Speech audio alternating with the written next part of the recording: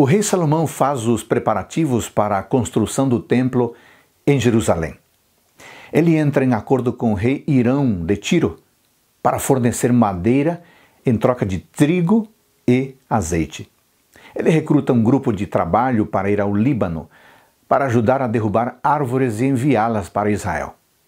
Ele recruta outro grupo para trabalhar nas pedreiras e preparar pedras para o templo. Amigos, falemos de planejamento.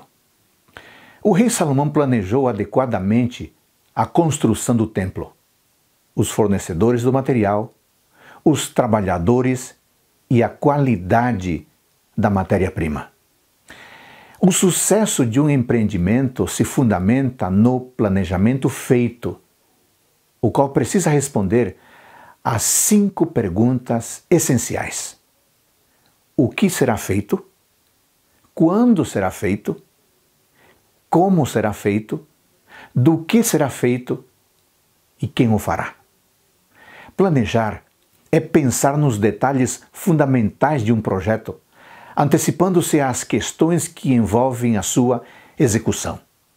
Planejar é o primeiro passo de uma grande obra. Planejar é antever o sucesso. Por isso, como disse Benjamin Franklin, se você falha em planejar, está planejando falhar.